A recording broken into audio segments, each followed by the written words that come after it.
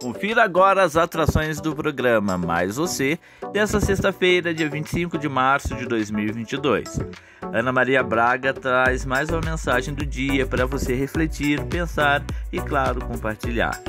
Ainda tem dicas para você, comerciante, evitar golpes de clientes e também como você pode se proteger e ver seus direitos. Ana Maria Braga ainda dá uma dica para quem quer perder peso com saúde apenas pulando corda.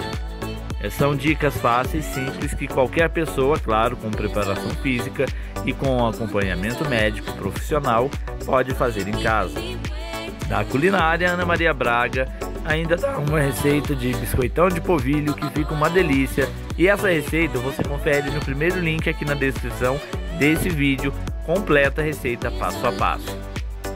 Ainda tem algumas outras dicas e, claro, pode ser que Ana Maria Braga comente sobre as notícias do dia e sobre Big Brother Brasil 2022.